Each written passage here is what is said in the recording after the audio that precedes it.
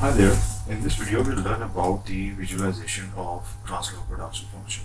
We have quite a bit of idea of what translog production function is. We have done various treatments of it, but now we will see that how its diagram looks like. So we have an estimated translog production function. The output is a function of labor and capital in their linear forms, as you can see, and also in their quadratic forms. And the function is also dependent upon the interaction effects of labor and capital in their logarithmic forms.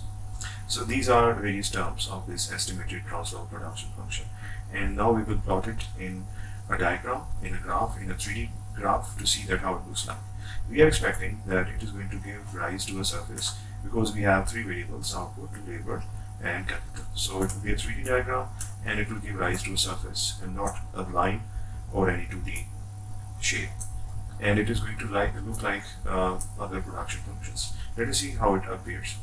So here we are, we have plotted this and you can see that it's a surface, it has uh, 3D uh, orientation, this is the output, this is labor and this is capital.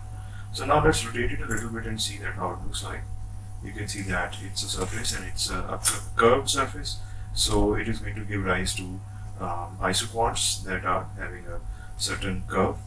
So it's close to somewhere uh, Cobb-Douglas orientation uh, because neither it is a flat surface nor it is uh, making a vertex. So it is basically uh, close to a Cobb-Douglas sort of uh, um, production surface. Now we can focus on it by uh, removing the out outer frames. Now we can see it in a different way.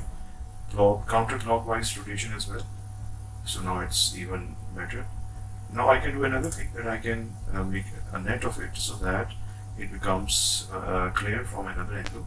So you see uh, it's having that curved shape and if we extract the isoquants from it it is going to give rise to uh, the uh, isoquants that are having uh, a curved shape.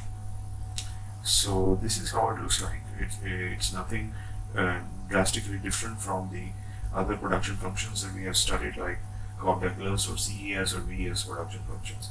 It's quite similar to those. So I hope you have learned from it and you have seen the translog in a 3D diagram. Uh, you may subscribe to this channel. If you have learned from this video, you can like it. You may also click the bell icon so that you continue receiving such rarely found material on YouTube. Thanks for watching.